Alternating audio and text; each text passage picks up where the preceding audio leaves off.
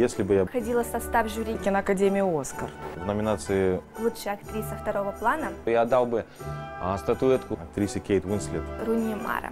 Дженнифер Джейсон Ли. Кейт Уинслет. Потрясающее яркое появление на экране.